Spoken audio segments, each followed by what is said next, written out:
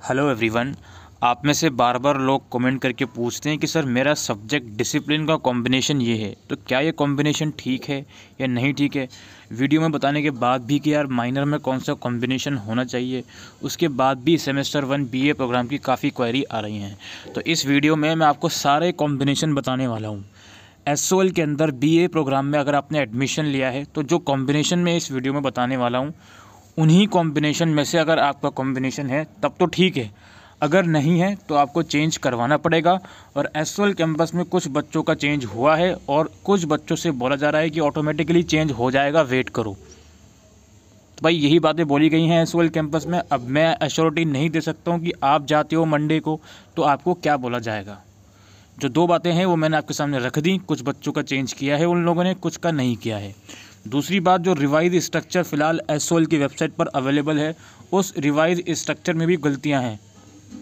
Economics का subject minor में change कर दिया है। पहले प्रिंसिपल्स ऑफ़ माइक्रो इकोनॉमिक्स था, अब इंट्रोडक्टरी कर दिया है। उसके अलावा उस रिवाइज स्ट्रक्चर में एजुकेशन में और हिंदी सब्जेक्ट में और उर्दू सब्जेक्ट में गलतियाँ हैं, जो मैंने डिस्कस कर ली हैं अर्लियर वीडियोज़ में। खैर, इस वीडियो में बेस्ट पॉसिबल कॉम्बिनेशन जो आपका होना चाहिए, वही मैं इस वीडियो में दिखाने वाला हूँ। सबसे पहले हमने मेजर में हिस्ट्री रख लिया है और माइनर में बाकी सारे सब्जेक्ट तो ये आपके सामने है history political theory history introductory micro economics history introduction to literary studies यही कॉम्बिनेशन अगर आपके पास है तो इट मीन्स कि आपका जो कॉम्बिनेशन है, बिल्कुल ठीक है। हिस्ट्री के साथ basic concept and ideas in education history अगर मैं बोल रहा हूँ तो ये दोनों सब्जेक्ट बोल रहा हूँ राइट एशियन सोसाइटी और history from earliest up to three hundred century ठीक है? अच्छा history plus Sanskrit grammar history plus Hindi भाषा और साहित्य का इतिहास, काफ़ी बच्चों के साथ, यहाँ पे हिस्ट्री के साथ हिंदी है तो हिंदी सिनेमा दिया हुआ है, जो कि गलत दिया हुआ है, ठीक है? इसके बाद history and topic and calculus यानी कि मैथ्स वाला हिस्ट्री और study of modern prose and poetry one यानी कि उर्दू वाला। इसके बाद पब्लिक एडमिनिस्ट्रेशन शुरू हो जाता है। पब्लिक एडमिनिस्ट्रेशन पॉलिटिकल थ्योरी उसके साथ history from earliest time up to three hundred C E public administration political theory उसके साथ introductory micro economics public administration political theory उसके साथ basic concept and ideas in education इसके बाद political science के साथ लिटरेरी स्टडीज़ पॉलिटिकल साइंस के साथ हिंदी भाषा और साहित्य का इतिहास पॉलिटिकल साइंस के साथ संस्कृत ग्रामर और उसके बाद टॉपिक इन कैलकुलस और फिर study of modern prose and poetry one इसके बाद मेजर में हम रखते हैं इकोनॉमिक्स को. मेजर में इकोनॉमिक्स रखते हो तो आपके पास कॉम्बिनेशन रहेगा ये वाला. Basic mathematic for economic analysis and introductory micro economics तो कॉम्बिनेशन देखते जाइए इकोनॉमिक्स के साथ इंट्रोडक्शन टू पॉलिटिकल थ्योरी फिर history of India from earliest time up to three hundred century फिर इंट्रोडक्शन टू लिटरेरी स्टडीज़ जो कि इंग्लिश का सब्जेक्ट है, फिर basic concept and ideas in education फिर टॉपिक इन कैलकुलस फिर हिंदी भाषा और साहित्य का इतिहास, और उसके बाद आपका संस्कृत ग्रामर आ गया, और finally study of modern prose and poetry one Urdu इसके बाद हम मेजर में रखते हैं एजुकेशन को। एजुकेशन अगर मेजर में आपके पास है तो ये दो सब्जेक्ट होंगे एजुकेशन इन कॉन्टेम्प्रेरी इंडिया और basic concept and ideas in education अब एजुकेशन के साथ introduction to political theory education के साथ हिस्ट्री एजुकेशन के साथ इंट्रोडक्टरी माइक्रो इकोनॉमिक्स एजुकेशन के साथ introduction to literary studies education के साथ हिंदी भाषा और साहित्य का इतिहास एजुकेशन के साथ संस्कृत ग्रामर और फिर मैथमेटिक यानी कि टॉपिक इन कैलकुलस और फिर आपका study of modern prose and poetry one उसके बाद इंग्लिश हम मेजर में रखते हैं। इंडियन क्लासिकल लिटरेचर और इंट्रोडक्शन टू लिटरेरी स्टडीज़ इसके साथ political theory history from earliest time up to three hundred C इसके साथ माइक्रो इकोनॉमिक्स और इंग्लिश के साथ basic concept and ideas in education English के साथ हिंदी भाषा और साहित्य का इतिहास। इंग्लिश के साथ टॉपिक इन कैलकुलस इंग्लिश के साथ संस्कृत ग्रामर और इंग्लिश के साथ आपका study of modern prose and poetry one इसके बाद मेजर में हमने हिंदी को रख लिया। तो हिंदी सिनेमा और उसका अध्ययन, हिंदी भाषा और साहित्य का इतिहास, ये दो सब्जेक्ट रहेंगे।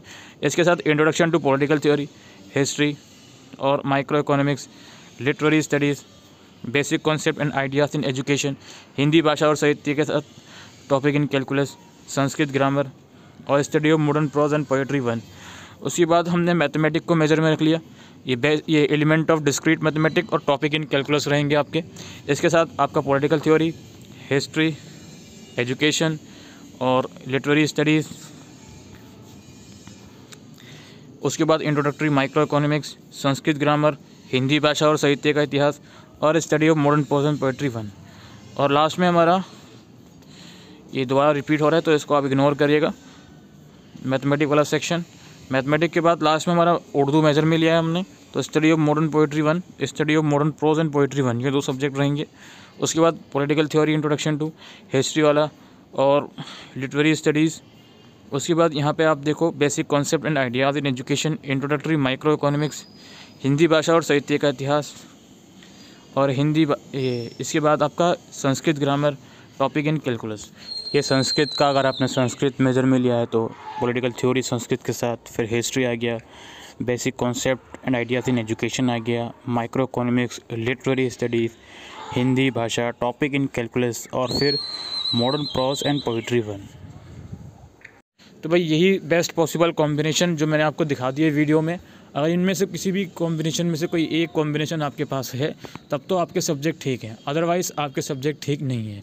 यहाँ पर मैं इस बात की बिल्कुल गारंटी दे सकता हूँ, जिन बच्चों ने एस कैंपस में जाके सब्जेक्ट चेंज नहीं करवाया है, उनके अलावा 95 परसेंट बच्चे ऐसे होंगे जिनके सब्जेक्ट कॉम्बिनेशन ये नहीं होंगे जो मैंने वीडियो में दिखाए हैं।